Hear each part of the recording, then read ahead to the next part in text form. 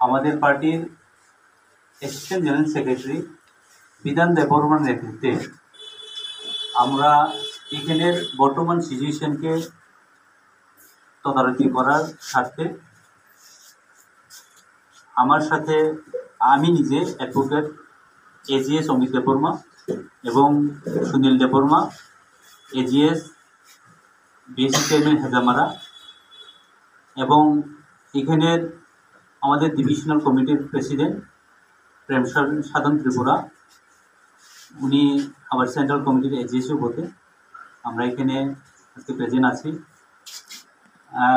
আপনারা সবাই জানেন যে অত্র এলাকার জনজাতি হোক বা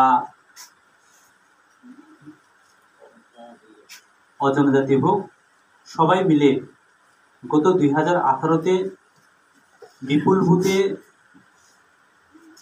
ধনঞ্জয় ত্রিপুরাকে এই চুচল্লিশ রায়মাবিলির এমএলএ হিসেবে ভোট দিয়ে পাশ করিয়েছিল।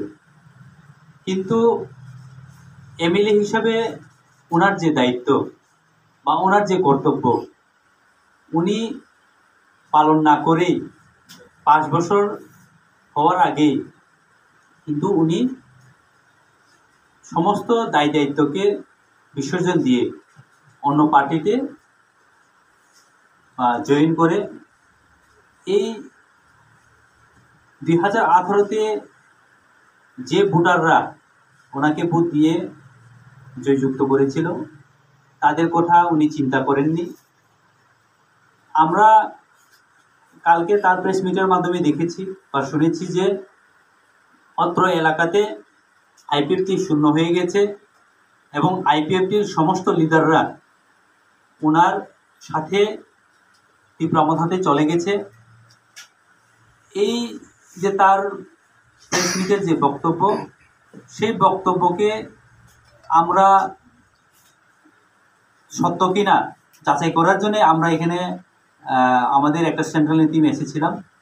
কিন্তু এখানে এসে দেখি আমাদের আজকে এই পার্টি অফিসের হল ভর্তি আমাদের আইপিএফটির কার্যকর্তাগণ এখানে উপস্থিত আছেন। এখানে আমরা কোনো এরিয়া থেকে কোনো একটা গাড়ি ভরে কিন্তু আমাদের পার্টির নেতৃত্বদেরকে আনিনি। ওনারা স্বইচ্ছায় এক একজন করে এক একটি এলাকার আমাদের কর্মকর্তারা এসেছেন। আজকের এই যে এখানের যে উপস্থিত আমাদের যে পার্টির যে কার্যকর্তা, এটা দেখেই আমরা স্পষ্ট বলতে পারি, ধনঞ্জয় ত্রিপুরার মতো এমএলএ, অযোগ্য এমএলএ প্রার্থী থেকে চলে গেলেও আমাদের এখানে ত্রিপুরাল্যান্ডের দাবিকে সামনে রেখে আন্দোলন করার মতো অনেক নেতৃত্ব এখনও রয়ে গেছে। আমাদের দৃঢ় বিশ্বাস, আমাদের এখানের যারা নেতৃত্ব আছেন ওই কিছু দিনের মধ্যেই আমরা হয়তো একটা বিরাট জনসগম জনসগম করে এই বার্তা দিতে পারব যে আমরা রাইমাবিলিতে আইপিএফটির যে আগের যে স্ট্রেংথ, এই স্ট্রেংথ কোনো অংশে কমে যায়নি। এই বার্তাটুকু দেওয়ার জন্যই আমরা আজকে আপনাদের এই প্রেস মিটের মাধ্যমে যে বার্তা দিতে চেয়েছিলাম। সুতরাং সবাইকে ধন্যবাদ।